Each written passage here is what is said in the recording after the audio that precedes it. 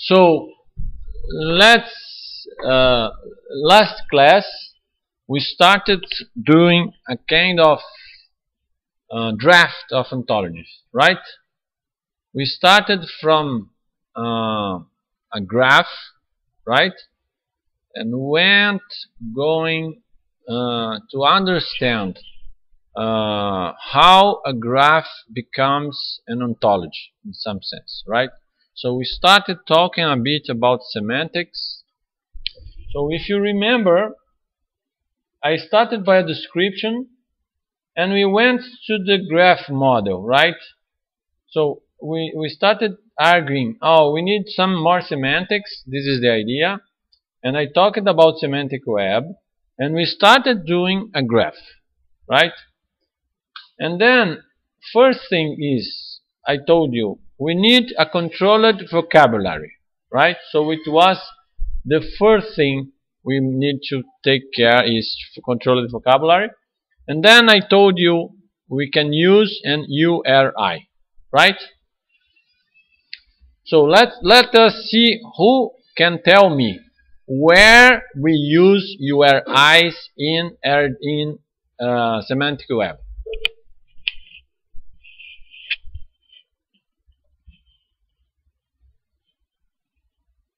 In which parts of the graph? So consider a graph. In which parts of the graph we use URIs? We can use in nodes, right? But any node? No? Which nodes we don't use URIs?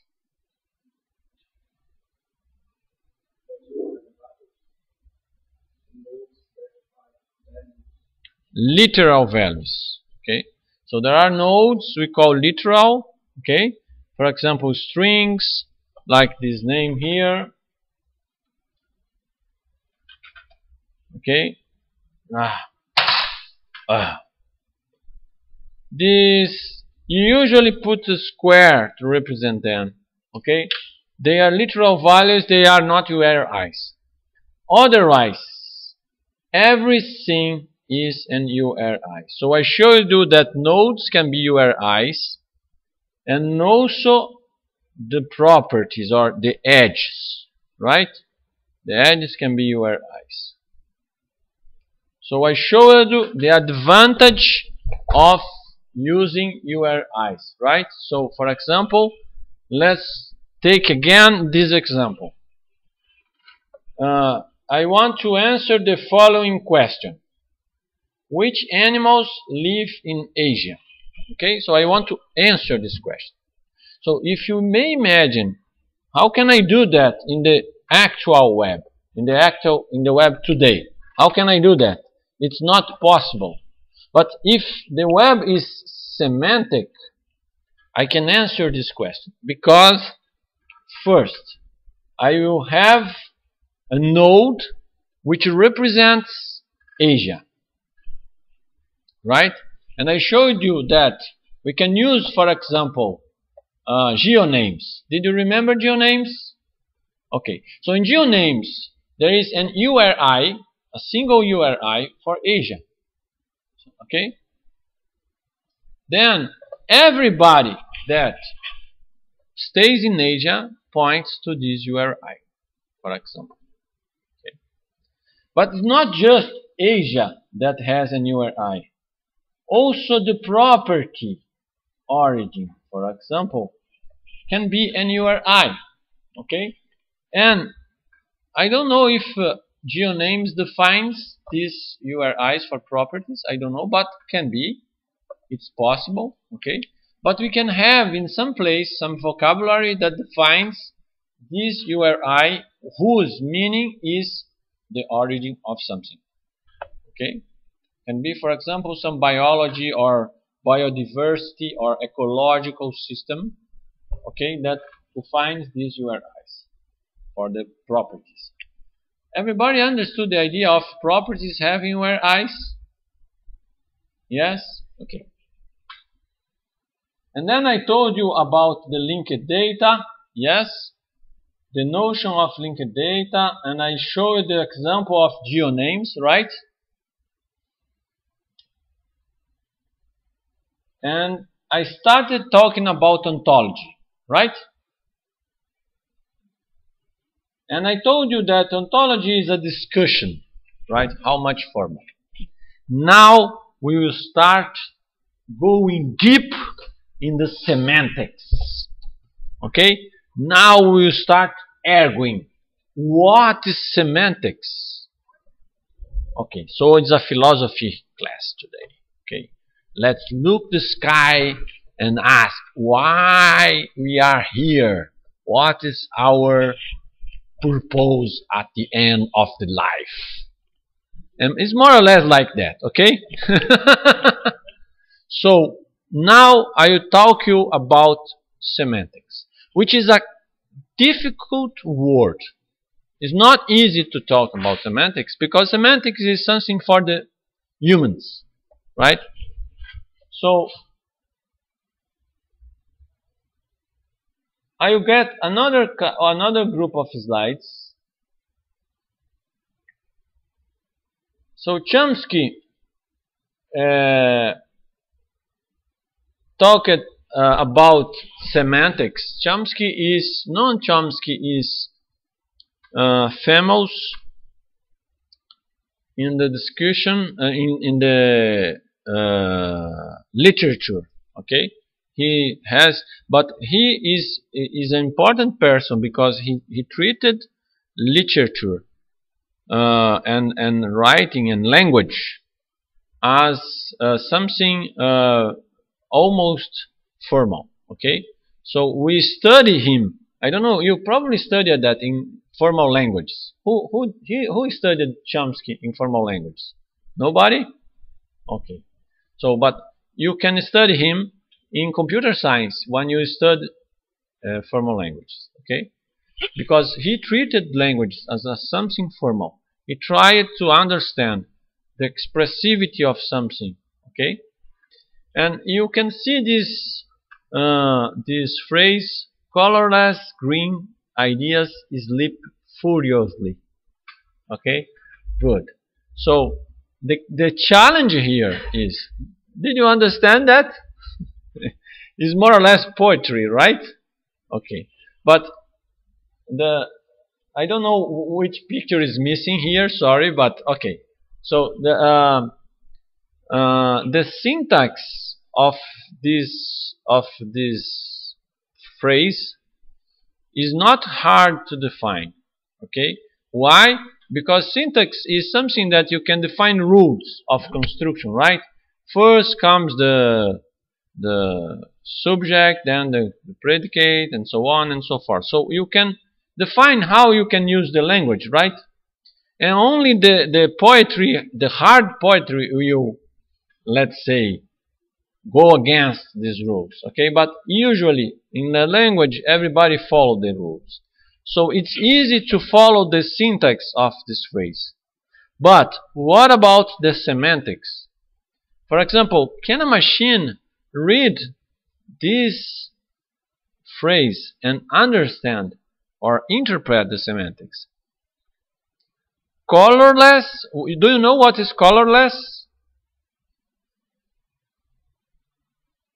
Without color. Sem cor, colorless, right?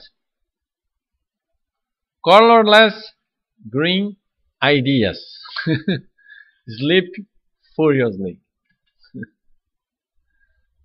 Ideias verdes sem cor dormem furiosamente. and then you can get a machine and try to give the, the, the, phrase so the machine will interpret it. Okay? If you want to, to, to if you want to, uh, to do something in semantics, you can go to this program here. This is really an interesting experience. I spent yeah. I spent uh, a lot of uh, many hours talking with. Let me remember her name is uh, Alice.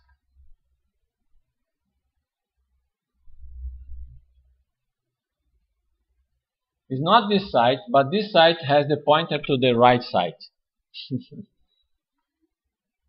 Let me see where is the right. Uh, this is also good software, but this is a 3D software. But I'm talking about another software, which is Alice Boot. But now they, they remove it because they have a, a something that if you are looking for Alice, I think it's Alice Boot something like that.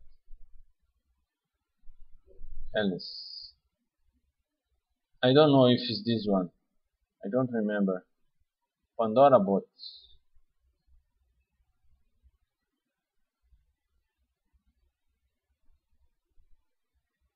yeah probably is this one okay so you can come here and tell hello Alice how are you? And uh, Alice, hi there. I'm functioning within normal parameters. Talk to me. Uh, um, I, I'm wondering uh, which is your favorite color?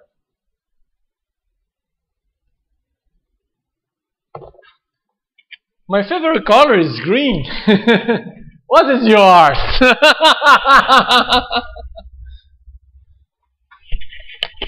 and now you can tell something like, you know, I don't see colors. Colors. So I I don't see colors. So, how can I know my favorite color? Interest goes. you see, in some point, you achieve uh, the limit, right? I mean, this is she. She is uh, trying to to she she probably the, the the boat didn't understand what I told.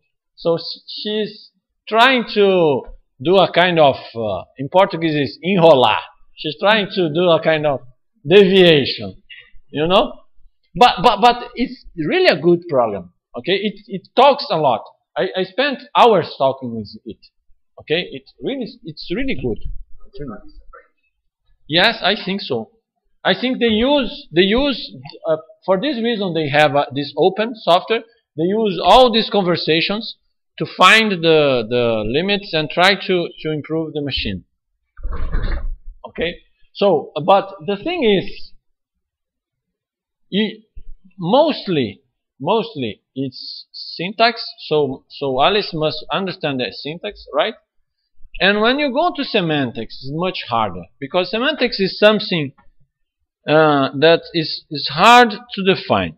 So I will go with you in a kind of trip now in the semantics, okay?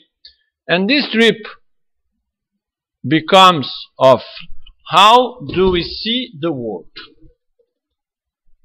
So I told you that is a philosophical thing, right? Uh, what is okay? Okay, so I'm here Right, let's go. So let's talk about knowledge representation. And to understand knowledge representation, the question is, how do we represent knowledge as we represent? In some sense, let, let's think about databases, let's think about uh, XML that we studied, let's think about uh, uh, ontologies I will talk to you. Okay? There is something in the root of the way we represent knowledge, which is in the root of the way we see the world. Okay? So, I showed briefly, I, I get back again the things that you studied in database that you probably don't remember anymore, but it's just to get again. So when you went to database, okay, you must, I, do you remember that you started studying this model, entity relationship? Did you remember that? That you studied that? Who can tell me what is this model? I will not give you a class of entity relationship, you know, it's too much, but it's, it's a model of database to, to let me show you. If you remember, there are several stages in database, okay? And the first stage we call conceptual model is this one, okay? So the conceptual model is we want to produce a model, okay, to describe your your real world. Who can tell me what is a real word in database? For example, if I want to produce a system of uh, Lord of the Rings, okay? Gandalf. Who knows who is Gandalf? This is a test to know who is who is a nerd. Okay, who is no Gandalf? Okay, Gandalf the Grey. Okay, so Gandalf. So if I want to produce a system of uh, Lord of the Rings, okay, do you think that Lord of the Rings is the real world?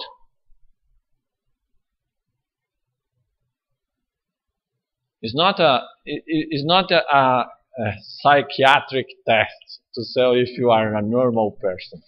Okay. Do you think it's a real world?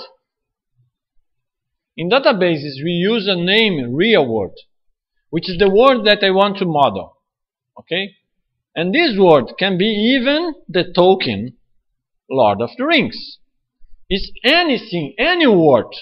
In some, in some contexts, people call it mini word or can call it uh, universe of discourse. Okay? Which is the thing I want to model. And then there is the thing I want to model. Can be something uh, in a company. I want to develop a system and I want to model it. Okay? Then I need something to model. Something is not, see, this is really highly important. Is not something to, to, to implement the database. No. I'm not implementing the database yet. I want to see and model the world. Okay? And to do that, we use, for example, the entity relationship model. And then now I'm working with biologists. And the interesting thing, you, you see that biologists do almost the same thing. They do a kind of entity relationship of the living beings. Okay? So they go to the birds and ask the birds, how are you feeling today? And that, no, it's not that, but it's like, okay, so So this, this model was developed by uh, Peter Chen in 76 and the notions is entity if you remember and the entity is something, some object in the real world which we can identify it and has independent existence right? And in some sense we can group the entities in a class of entities we call set of entities okay? And there are the relationships. So okay. But before we go there let's talk about what is the real world. And this is important to, to our ontologies because the things we see here is almost there is an interesting paper I can show you that they they tell that when when we do an entity relationship, we are already doing something like an ontology. The problem in the past was we draw this entity relationship and we didn't follow putting it inside the computer. We do this guy and then afterwards we lose semantics when we map it to a database. But we talk about that. So, why why someone invented the model entity relationship. The entity. And I didn't put the slides here, but if you see classes in the object-oriented model, okay, there is the notion of class, right? And the instance of a class is an object, right? It's the same notion of entity. And we can map them. We can map class to entity and vice versa. And why we model things like that? The thing is how we look the real world. It's the third time that Lucas see this class, right? I don't know. I, I already did that here? No, right? Okay. So, today is the day I call the matrix day. Okay? It's the day you uh, leave the room thinking differently about the world. You look everything and tell, now I see. See? Like Matrix when the guys fired the bullets, pow, pow, pow, pow, and the, and the bullet stopped in the air and it got one bullet. Right? You remember that? And then he see everything like bytes running gun. And, and, and this is the thing we do now. So prepare yourself because it's something that people cry on the night. Wow, oh, my life is a bunch of bytes. Okay, so what is a mountain? My question is, what is a mountain? How can tell me what is a mountain? Em português, o que é uma montanha? Everybody's afraid. O que uma Ah, placa tectônica. You study that at school, right? The problem is, the question is, pay attention. A mountain doesn't exist. And why I'm telling you that? Suppose that a mountain exists. Okay? Let's get the Fuji mountain. Okay? And you tell me, okay, but the Fuji mountain exists. I see it. Right? And I ask you, okay, let's consider it exists. In fact, it exists. Where is the limit of the mountain?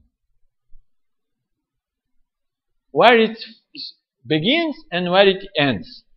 If I get each people in the earth and ask to draw the limits of the mountain, nobody will draw the same limits. Why? Because the mountain is just an idea in your mind. There is no object mountain. There is no such object. There is no limits. Okay? It, there is no place where the mountain starts and the mountain ends. There is no limits of the mountain. So, the mountain is an image in your mind of something in the real world. The real world is not organized in classes, is not organized in objects. There is no object in the real world.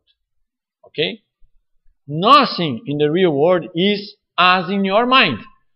Our mind do a trick trying to organize the world so you can capture and understand it. But, I mean, if I ask you what is a bus station, for example, what is a bus station? And then you tell me, okay, the bus station is that place where you go to get the bus. Then I ask you, okay, but the bus is part or not of the bus station? if you tell me, no, the bus is part of the bus station, and, but if you, if you, if the bus leaves, what happens? so part of the bus station leaves, so the object is something in your mind. And this is explained by serious works in, uh, I don't know how to tell in English, psychology is psychiatry, right? Psychiatry or something like that. Okay, so, huh? Psychology, right, psychology. So psychology explains that. Development psychology, they tell that uh, uh, child in the beginning of their lives, they don't uh, have the notion of objects as persistent things. Okay? And for this reason, when you when when you have when, when you see a kid uh, do you know this this thing you do with the kid that you hide yourself behind a, a, a, a I don't know how to tell in English, even in Portuguese. lençol. Lençol is a sheet, right? When you hide yourself behind a lençol, okay? And then you leave it, and the, the kid, ah, because it, the, the, the kid sees, oh, this, this guy appeared for nothing. What's happening here? And then you hide yourself again. And then you leave and it appears again. Oh, again. So the kid will, the kid will be, this, this will be funny for the kid, even if you do 10 times. And then you ask yourself, why this is funny 10 times? I did that the same thing. Because you may imagine the following. A kid cannot understand that an object persists and that when you put an object in front of the other object, you're just hiding the object. There is no notion of object in the mind of the kid. So the kid see the image, and that is your image, and then you disappear because the kid doesn't see there is an object in front and then there is another object. This is an abstraction of your mind. So for the kid, you disappeared. And then you appear again. So this is really funny. And then you disappear. You may imagine if you, you, have some guy here that just disappears. Okay? And then appear again and you tell, what's happening here? The world is changing. Right? And then it disappears again and appear again. Oh, okay, I'm, I'm crazy or something. Right? So this is the idea. But the kid will, will, for the kid it's funny. Okay?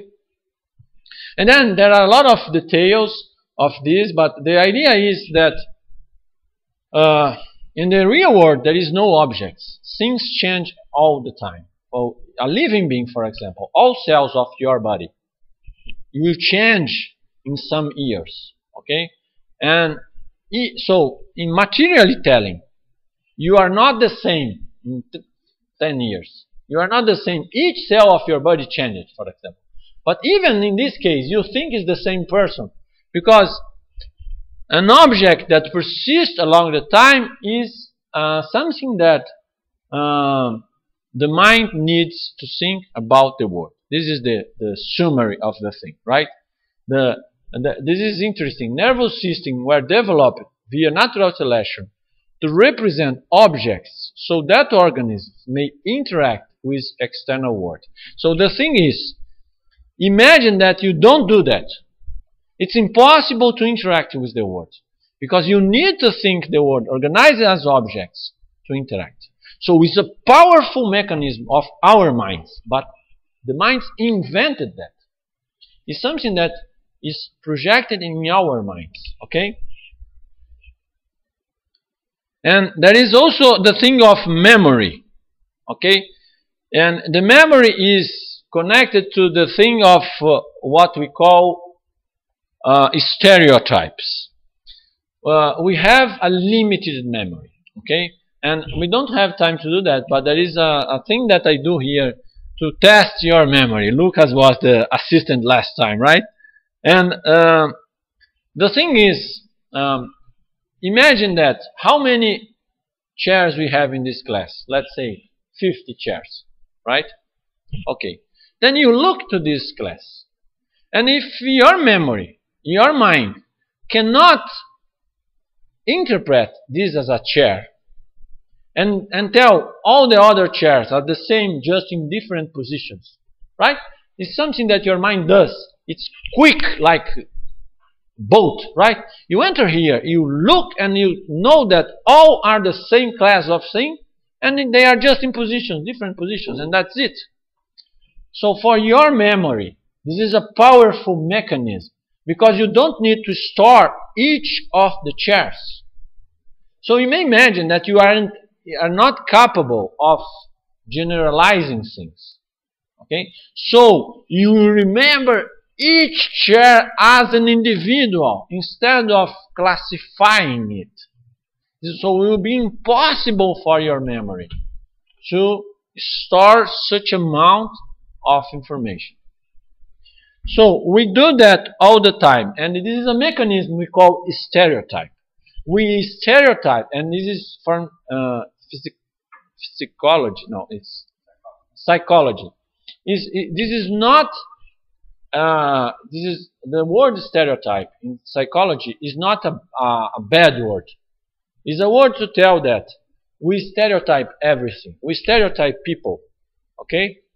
How we stereotype people? When you look a person, your, your mind try to put in a kind of category. Okay? And you categorize everybody. For this reason, some people tell, you know, first time I see this person, I don't like him or her. And why you do that? You never talked with this person and you don't like it. It's because your mind, when the, you, you first time you see the person, your mind do the first thing your mind always do, classifies it. It has a huge database and runs the algorithm and start classifying this person. And sometimes you just associate this person that you don't know for something in your database that is bad. Even if this person has no, uh, is a good person, is probably someone who you can even be a friend. But if even in this case, your mind will tell, you know, first time I see this person, I don't like him. And, and this is the way we do stereotypes. And in this case, it can be bad. But usually is a good thing. Okay? Without stereotypes, is also we cannot live. Why not? Stereotype is the kernel of learning. Why? For example, I know this is a, a watch. I know that, okay? So I stereotyped it. So when I get, I know how to use it, okay? I just get and I know how to use it. And you can give me, the human beings is the best engine to do that, you know? I read a paper recently. They, they, they are trying, still trying to find how human beings are so good on classifying things. We are really good on that. You can show me millions of different kinds of watches. And in just in a second, I you know that is a watch. And how you do that is a kind of potent mechanism of your mind. And then, when you classify it in fractions of seconds, you know how to use it. I know that I can get it, I can do this thing. Even a new, a new watch I never saw before even a new one. I can do the same thing. Why? Because I know the class of the things. When you enter in a room and you see a chair, you know that you can sit on top of it, right? Why? Because you classify it in the first time. Okay? So, we classify everything in the world so we can predict what we can do with these things. Okay? So, we classify animals, we classify persons, we classify things and everything. So this is our mind. And this is the root of semantics. This is the root of how we interpret the word. Why? Because if you think with me, the word is the word. There is no mountains, there is no bus station, there is no classes in the word. The word is the word. Everything is in our mind. And what is this thing that is in our mind? Is the semantics. We give semantics to the word. So when you tell me mountain, you are putting semantics on this thing. When you tell me bus station, you are putting semantics on this thing. So this is the way we give semantics to the things around us. And this is our potent mechanism. You see, what is these pictures of? Huh? Robots, right? All these three are completely different, but you have some mechanism in your mind. You can see completely different images and you can classify them as robots. You are really good on these things. You cannot imagine, and uh, this is a challenge, right? Ah, this is good. What is it on the on the right there? You know? Nobody knows that, even me. Okay. But it's just to tell you, okay? You can. Okay. So, going back to entity relationship, there is the relationship, and we usually think uh, the world as objects and relations of these objects, how the objects relate. So, in our minds, the things are uh, in compartments. And the interesting thing is, the most interesting thing, if you study physics, and you go down, down, down in physics, you arrive in a point. I don't know if you know about the uh, contradiction of particle and wave. You know this contradiction? Everybody knows this contradiction? Particle and wave? When you go to atom level, photon level in fact, right? Uh, and you try to study the behavior of a photon to tell if a photon is a particle or a photon is a wave. Okay? Because are two different things, right? A wave is a kind of vibration in something, right? It's a wave. And a particle is a particle, okay? Then they started to study, is a photon a particle or a wave? And the interesting thing is, it depends. Depends of what? Depends. If you try to, to look on it as a particle, it behaves as a particle. if you try to look on it as a wave, it behaves as a wave. And then you tell me, but it is impossible. I know, but is that? This is the word. I'm telling you. it's true. Nobody until now explained that. This is what we call the contradiction of particle wave. And the same thing that behaves as particle and wave. And it depends. If you put a sensor to get a particle, you will get a particle. If you put a sensor to detect a wave, you will get a wave. So the same thing. Even though for us is impossible, so and, and this I like this contradiction because uh, I think even in the world we try to tell, we try to think things as objects, as self-contained things, and how they relate. But even this is an abstraction, because you may think, okay, André is an object or a relation. No, André is an object, not not necessarily, because I can be an entity, for example. André is an entity. Okay, but André is also a bunch of entities, my organs, for example, that relate by themselves. So, there are relations here. And then you go down, down, down, down, and you say, okay, uh, uh, the decision of what is an entity, what is a relation, depends on the way I see the world, I look on the world. Okay? Okay, this is some details of uh, uh, hierarchy and so on and so forth. Okay, of the model entity relationship.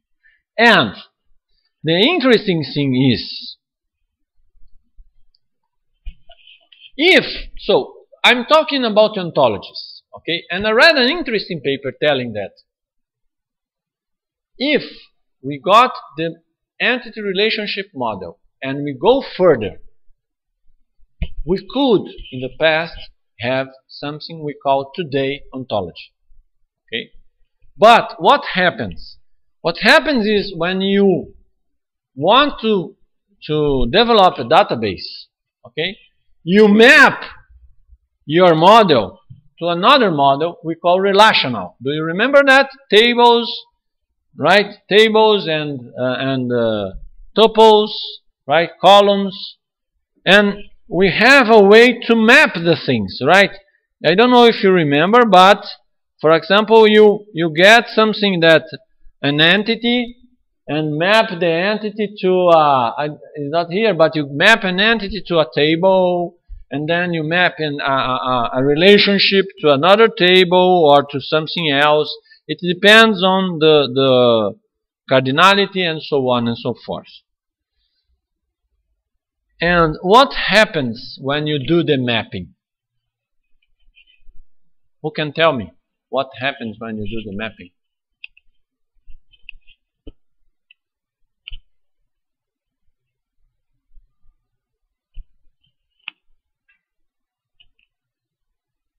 Nobody knows? You lose part of the semantics. Because when you go to the relational database, you are interested in, in storing values of attributes and so on. But all the things you developed in the entity relationship things are lost. So you don't capture the semantics the semantics of the things. So for this reason my question is the semantics of entity relationship stays? The answer is no. What was lost? This is the thing. What we lost when we map the things to the relational model. So now in the ontologies we try to get back again what we lost. We get, try to get back again the semantics, but now we want machines reading and interpreting the semantics. So let's go back to our graph.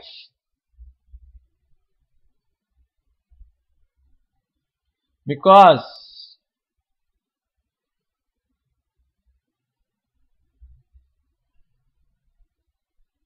the thing is, I'm telling that what we want in the ontology is formalize some knowledge. Okay? And the thing is, knowledge and semantics is based on the way we look and see the world. Okay? And we see the world as objects, classes, relations. Right? So, the basic idea here is we try to capture these things and put on the computer but there is something we lose in the traditional models we will try to capture here in our graph. And I will show you how we will do that. The first thing is a class. So we will go back to the class. Why? Because we think the world as classes uh, when you have stereotypes. Okay?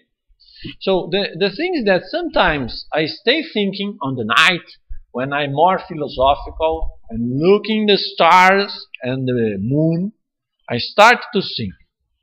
Imagine with me, if we are not humans, okay, we are different kind of living thing in the space, okay, and we think differently about the real world, okay. So we are some kind of thing, I don't know, a jelly, or something like that, okay? And the way we think is different from us, okay? So this, uh, we are this jelly, and this jelly doesn't think in classes, for example. Why not? Because they have a different kind of mind, okay? The mind is not a brain with neurons, it's a kind of uh, colored uh, balls inside the jelly that has can be shine and something beautiful to explain. Okay, but then what happens? You may imagine that if these jelly living beings, they think different and they will design a machine. Okay, the question is, do these beings will organize the knowledge in classes? So the thing is, why we do that? We do that in machines because we think about the world like that.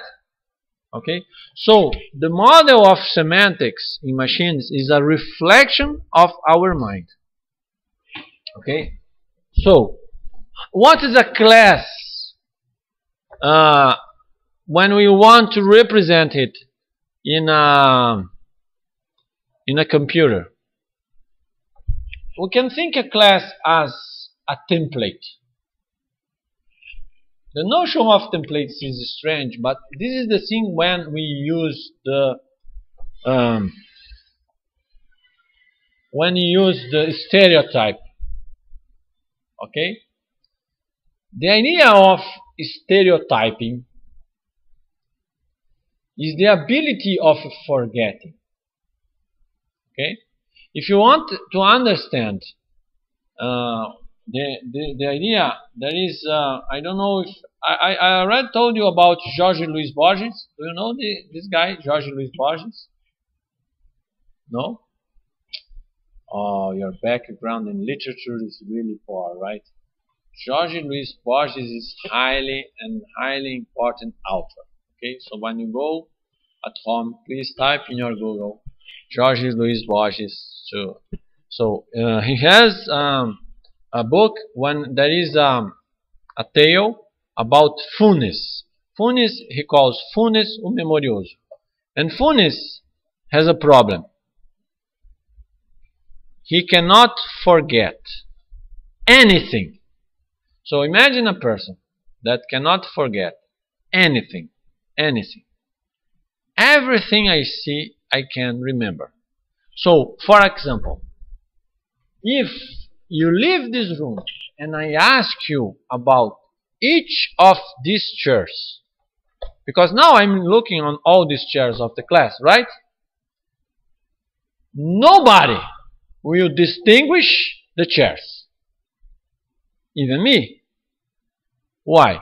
Because my mind just generalized it and forgot the details, but not Funes. Funes will remember the tiniest detail of each chair which is different of the other chair which is different of the other chair. For example, the red of this chair is not exactly as the red of this other chair here because there is, you know, so it will remember everything all his life. And the thing and the interesting thing in this history is that he cannot live, in fact. Why? Because we need to forget things, to abstract. So, what is a generalization? Is an exercise of forgetting the details and just keep the mind in the main things. So when you do, for example, when you look people and you do the stereotype, what you do, you forget the details and you generalize. What is a generalization? So you know the color of the hair, the eyes, the thing. So you just get some points and you generalize the person. Okay? For example, my algorithm, my own algorithm, it starts on the eyes. And I know that because if you are using the sunglasses, I will not recognize you. You know that? It's true. It's true. If you if you are you, if you are in some point there and you are using sunglasses, I will not recognize you. It's true. I don't know why. I have some algorithm that uh, sticks to the things in the eyes. So, for example, in my generalization algorithms, something in the eyes is highly important. So, if I cannot see your eyes, my algorithms will break and I cannot recognize. Uh, but, but the thing is, your algorithms for to generalize people is based on just a set of characteristics. It's not easy to explain. Now people are studying that. Okay, they are putting uh, sensors in the brains of uh, mouses. it's true. They got they get the mouse, poor mouse. They put some uh, sensors in the brain of the mouse. Okay, and put the mouse in front some um, other animals or persons or whatever, so the mouse can recognize. And what they do, they track the eye of the mouse. Because another thing you learn today, so another matrix thing. You think, you think, you see everything, right? For example, for example, now take a look in the class, all the class, you, everybody, take a look in all the class, okay? Do you think that you can do that? I'm here uh, one hour and ten minutes looking every. Do you think I can see all the class? It's impossible. It's not because your sensors. Your sensors are right, but it's your brain. Your brain cannot get this image and and and and and uh, have focus in everything. For this reason, sometimes you are looking for an object and it is in front of you. Right? You remember that, and you cannot, you don't, you don't see it, right? But how can it be possible? It's in front of me. Then people, they are studying that. The thing is, you think you are seeing everything, but in fact you are not. Your eyes, it tracks some main positions and creates in your brain the idea that you are looking to everything, but you are not looking to everything. Okay, so it's a kind of uh, image in your mind. But how it's possible, Andre? It's simple. It's just a trick. Another thing, if you see some movie about uh, ants or bees, usually, or, or, or spiders, usually they put the eye of the spider or the eye of uh, of an ant. And uh, is is like hundreds of eyes. Did you see that? It's several small images right? It's like the spider or the or the bee is looking on hundreds of eyes right? You know that? Did you see? Okay. Do you think that the spider of the bee look like that? Do you see the word like that? Do you think because if you get the eye of an ant and you amplify it, it will be something like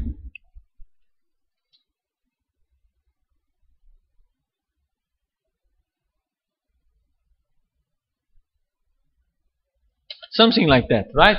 It's a bunch of small eyes. Okay? Okay? If you see the arachnophobia, dun dun dun dun, I see this, the eyes of the spider. So, and, and, and it since it's a bunch of small eyes, when the director of the movie shows you from the eyes of the spider, it shows you several small images, right? And then you think, yes, probably in this way the spiders look on the world. I remember when I was a, as a kid, there is an old movie, it's a version of the giant ants. You know, you see that? This is old movie, right? It's really old movie. Probably nobody of you knows the, what which movie is that. The the ants become huge and started to kill human beings. Okay, but what happens is uh, these huge ants has these several eyes, but in fact, in fact, they probably see the world as we see the world. And why is that? Because even you, your eye is like that. If you get an eye and you, you study it, you have things we call cones and bastonetes, which are sensors, which are just bunches of small uh, dots, which are sensors. So you don't see the world as you think you see. Right now, you are seeing a lot of dots. And why I'm not seeing dots? My vision is okay, it's not dots. Your brain has some kind of tricky trick. And then you think you are seeing everything as you're looking everything, but you are not looking at. So this is just to tell you that our brain is capable of giving to us an image of the world which is an image you need to uh, interact with the world. And the same thing is with generalization. Okay? You look something and you bring it in the next moment you generalize it. You get the most important things. And when we represent it in a computer, we think about what will be a skeleton of something. So the best approach is let us imagine that this thing has some properties. Okay? So, a human being. Which is the properties of the human being? The height, the color, the color of the eyes, the hair, blah, blah, blah. So we think in properties and we give values to this properties. This is a way of generalizing. Okay, so let's now try to think a graph think a graph which represents it okay so let's start with a node when we talk this node is a species represents a species okay and then you ask me but Andre what is a species and I tell you a species is a class. Class of things. So if you are doing a model, is an entity. Species is an entity, for example. Or if you are using object-oriented, is a class. But now we are constrained to a graph. We want to represent this information in a graph. So we tell, okay, we give an edge, and then this is an important thing. What is RDF type? This thing. Okay, so RDF is a namespace. Okay, namespace. Remember namespace? So there is an URI where is stored the controlled vocabulary of RDF. Okay, so it's something like that. Let me show you. Let me tell you. Bye, Alice. No, it's no, it's bye, bye, Alice. Sayonara. Hey, Alice is okay. So let's put here RDF uh, schema. Okay. Now I will show you something interesting. Let me get the URI of RDF. Let me see where is it.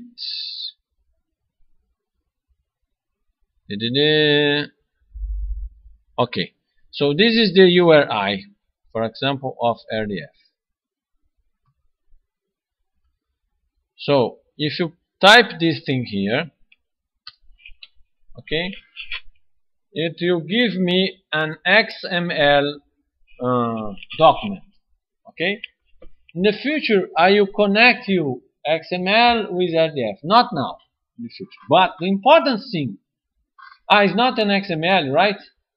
Oh, no, no, no, it's an AnyTree. Oh God. No, I don't want an AnyTree.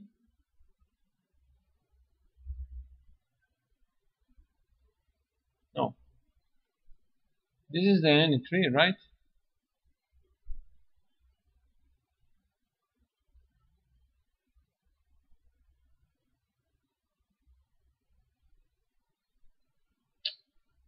Ah, I don't know how it's showing me.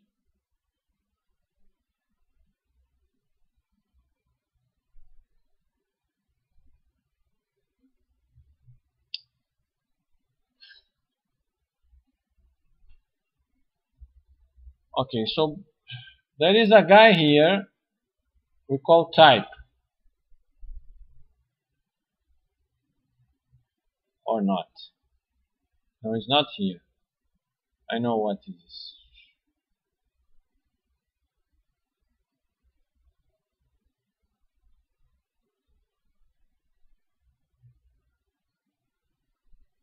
let me get it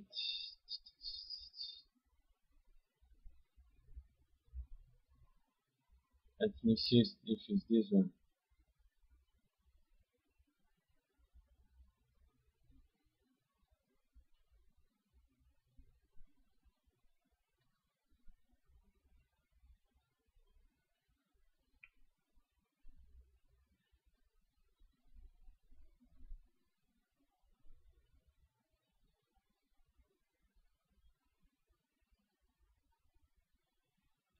Okay, this one.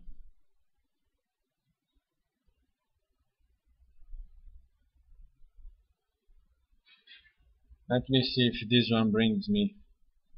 Okay. It's not XML, but let's focus on the RDF type. This one, RDF type. Okay. So the namespace here is RDF is this prefix here. Okay. So there is an address on the web which begins with this prefix here and at the end we have type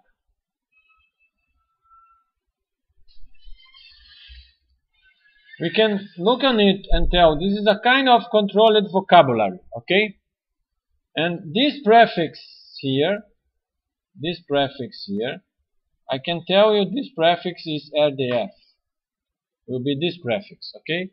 So when I tell RDF type, I'm talking about this guy here, which is defined in a controlled vocabulary of RDF, okay? And if I tell that species type class and type is an URI of a controlled vocabulary which has a specific meaning which is the type of the node and also class is RDFS class okay? I can tell that species is a class. And then after that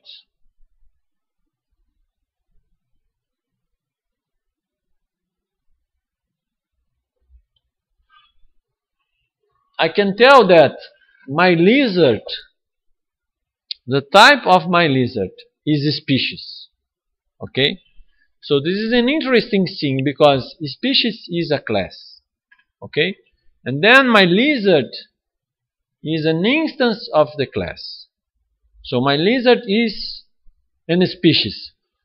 V. is a kind of species. And if you go further, uh, we can tell that there is a node origin whose type, again the type, is property. So I can interpret that. I told you in the last class, origin is a uh, the, the, the graph on top is a kind of parallel graph, okay? It means that I can use origin there. You see there, origin? I can use it, origin Asia. And origin is defined here and the type is property. And I can also tell that the domain of origin is species, which means that when you describe something as the class of uh, species, you can use this property to describe it. So what am I doing here? I'm trying to put in a graph mode the way we think about the word, we represent the word. But the difference here, and I will show you that deeply as deeply as possible, is when you produce, um, for example, a database schema, you distinguish the schema and the data. Okay? And you cannot describe the schema. The schema is something that you just put the labels, the types, and that's it. The schema is not the part of your data. In some sense, you are not knowledge. Okay? Here, everything is part of the same graph. Okay? So, uh, the class and the instance of the class, everything is part of a big graph. So, I can describe the object, but I can also describe the class. I can describe everything I want. And the machine can read. I can tell that something is subclass of something. For example, a species is subclass of genus, if I wish. And both are classes. And I go there and tell, okay, I can, you see, I start to connect the graph. And this graph tells me which are the classes, which are the properties, how the properties are applied to the classes. And they can be read. They can be read in the same way you can read these things in the same way uh, it is like for a computer everything is part of a graph So anything you want to do is navigating off this graph that try to put semantics and things. So for example, let's go back to that example of XML. Okay? Right? This example of XML. And the, the guy tell me that, okay, the problem in XML is I cannot know that these two guys here is um, a position and these two guys here are uh, the size right? If we are doing that in XML okay? Oh in in RDF first you may imagine that we have a class we can call point and this class of point has the meaning. This is a point in the space. And not just that this class can be shared throughout the world. Anyone in the world can use the same class okay? So I can define okay I have this class. Please people everybody who wants to describe a point use my class. Uh, okay uh, and then what will happen here? So you see here that this position is an instance of the class point. So a machine can interpret that these two coordinates are a point are part of a point. Okay? Uh, the other two are the shape of an ellipse. Okay? And the other guy is a spot. So what this paper shows is that you change something that is in a schema for something in which you try to describe things as we think about the world and in a such a way that machines can read it and interpret it so the machines can know this is an instance of a class that I, I can know or not. And this is this is can be a subclass of something else, and this can be related of this thing in such in this way or that way. And the most important thing, there is only one way to describe things. There are not two ways, two forms of creating a graph. And uh, one important thing when we do this kind of description is what we call ontology.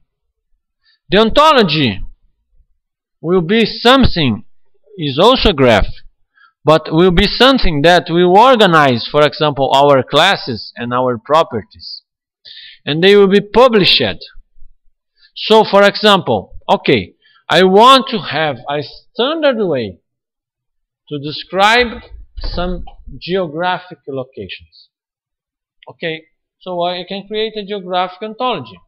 And in this geographic ontology, I will define the basic notions.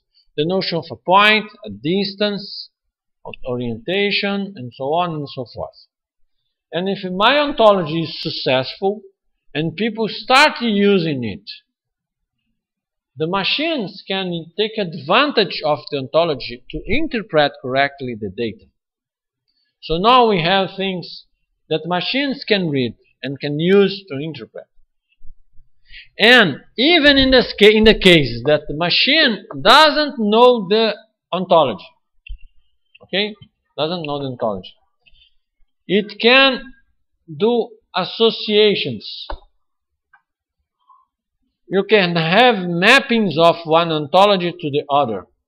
And the machines can infer the meaning of something relating to another meaning he knows, for example, it knows.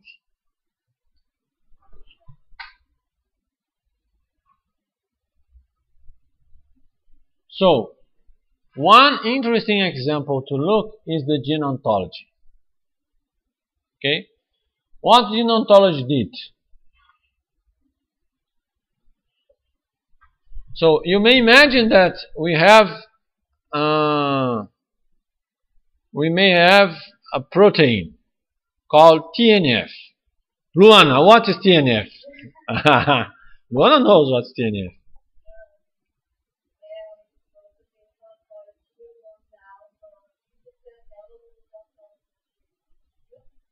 You see? It's a self-destroying protein. Okay? Yes. Okay? So it's a protein in which the, the, the cell can use. It means tumor necrosis factor. Okay? Tumor means tumor, right? And necrosis is dying or something. And factor is a factor to, to define uh, that uh, something will die. And, and one thing, first thing you may think is uh, there is the gene ontology database and TNF has its own URI. Okay, so you may imagine TNF as a node of the graph. Okay, I can even do the following if you wish.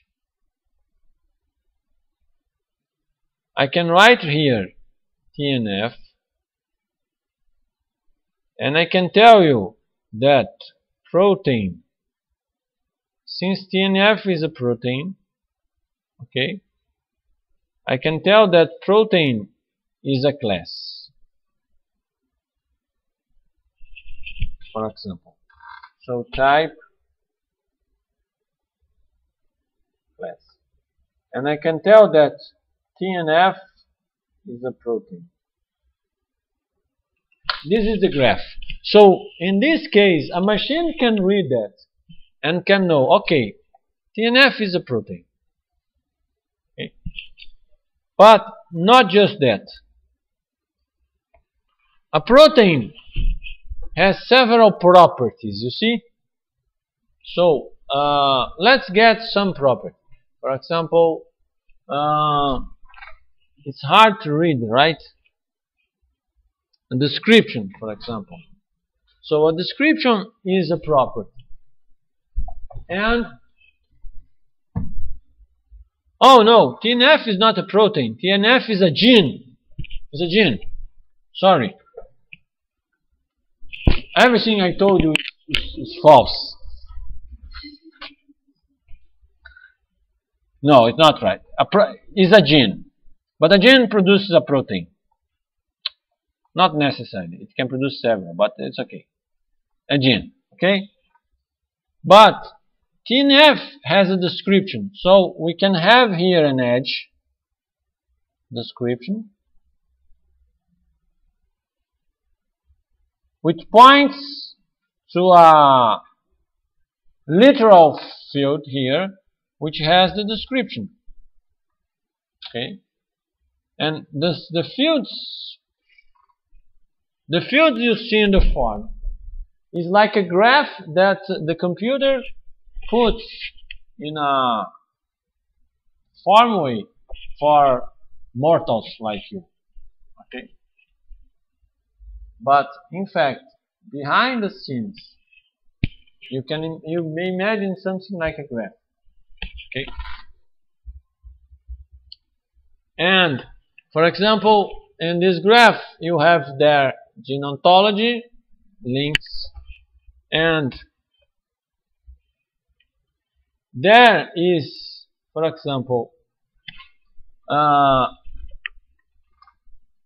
this node here of TNF, okay, is a cellular component, is found in the cellular component uh, recycle endosome. So you may imagine here that I can have uh, I can have here uh, endosome. Let me put it in the same color blue because it's also a class. endosome. So this guy here is also a class. Okay? For example. And or not. Not necessarily a class. So doesn't matter now. let's but the interesting thing here is, is the TNF there is a relationship that is cellular component endosome and if you see here I am showing you that recycling endosome has uh, its own URI so it's another node in the graph. And I can follow linking things. Okay? So the basic idea is uh, I can represent a knowledge as a graph but now formalizing it so it's not a free graph. It's not a graph. Draw it as you wish. No. There are rules to organize your graph. Okay? There are formal rules. So there is a way to tell. This is a class and this is an instance of a class. This is a property. This is a value of a property. This property belongs to this guy. And you can you you start to build your graph around these notions okay? And this is the basic of uh, what distinguishes a graph in general of an ontology which is much more formal. And one research I'm doing now which is an interesting research is how can we do the bridge from one to the other right? So imagine that I get anything, any resource, and I map it in a graph. But this graph is not formal. It's something informal because I got, for example, an XML file or something. And now I want to transform it in an ontology. And is really, really interesting because you can start to analyze the words, the relations, the things, and try to find uh, how to map or how to uh, bridge it to an ontology. Okay, several people today are uh, are looking for it because the interesting thing in the future is the following: when we study ontologies, I think now we have the tools to produce descriptions that machine can read and can use. Highly, highly useful. The problem is, it's highly expensive to produce data in this way. For example, gene ontology that I showed you is probably a highly expensive knowledge base. Why is it expensive? First, each biologist or each researcher that puts data in the knowledge base will take a lot of time because, for example, you want to tell, let's consider,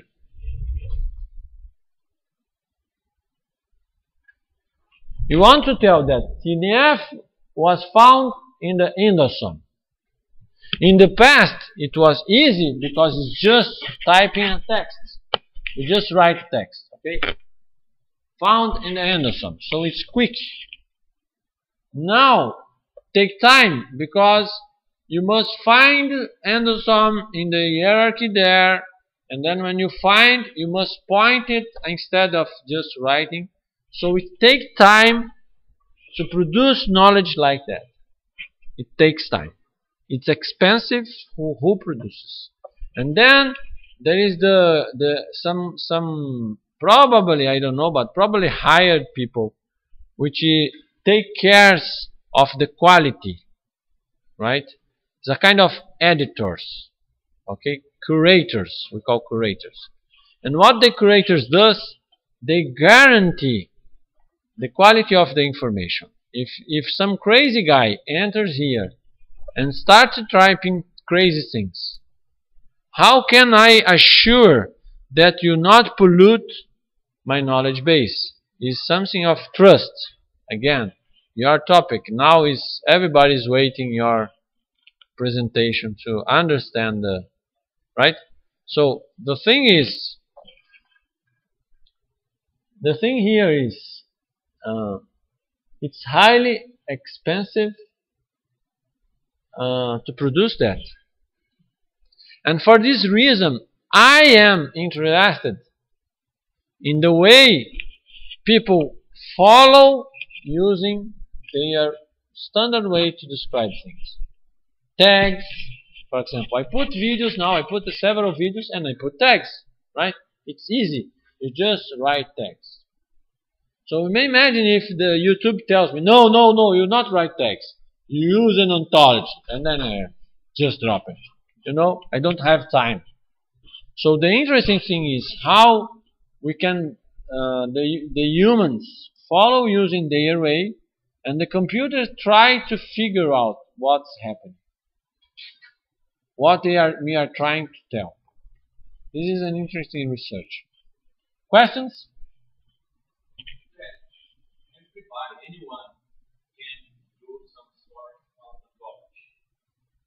Yeah, this is a good question.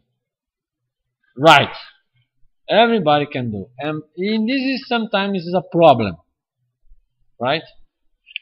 The, uh, uh, I'm just starting. This is a draft of ontology. I, I will give you uh, next class. We will give you a formal course of ontology since the beginning. But the, the idea is when you produce a knowledge base, you can have a central model and you can have what we call closed world assumption. And the closed world assumption I, I mentioned in the last class tells that you can know the difference of what's true and what's not true. Okay? So for example, in a relational database, when you design a schema, okay, you tell this field is mandatory, for example.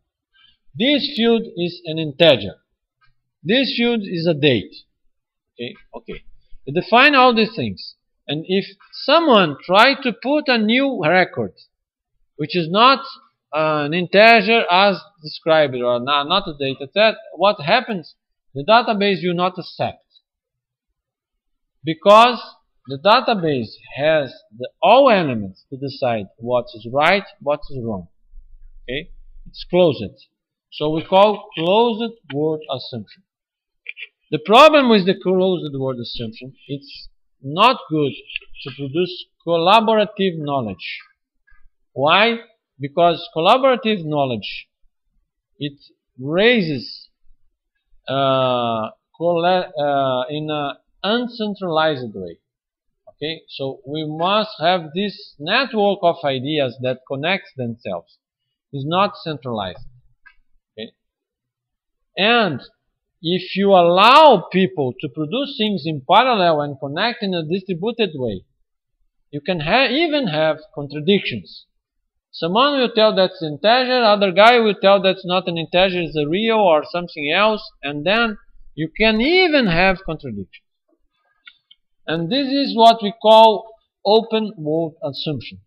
The open world assumption is you can never be 100% sure that something is right or wrong.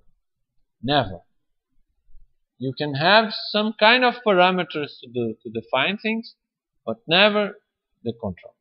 And we can also, in this case, have that any person can produce a new ontology, modify an existing ontology. So you can get an ontology, any ontology on the web, and you can change it, not the source. You produce a local description that changed the original ontology, for example. Extend an ontology. So everything is connected and everybody can include, change and modify. But how can we control this thing? Okay, which is uncentralized.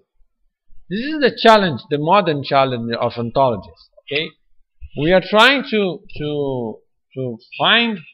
So, uh, in some cases, you control by authority. So there are these big institutions that produces an ontology, and the institution is highly important. And people start using this ontology, and by authority, you will be the guy that defines ontology. Okay, and usually it's like that.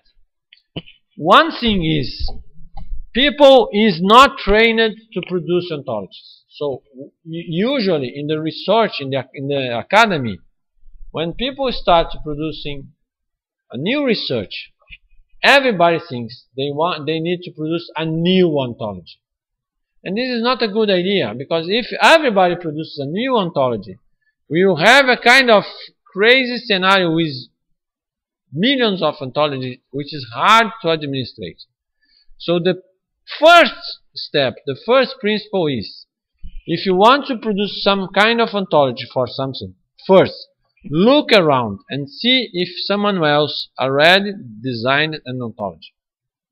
If someone already designed this ontology you want to design, go there, study this ontology, and decide if you want to adopt it, to extend it,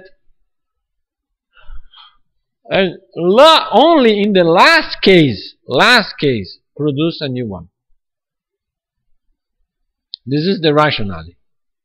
But it's still not so so uh, followed, let's say. Okay? This is the dream, let's say.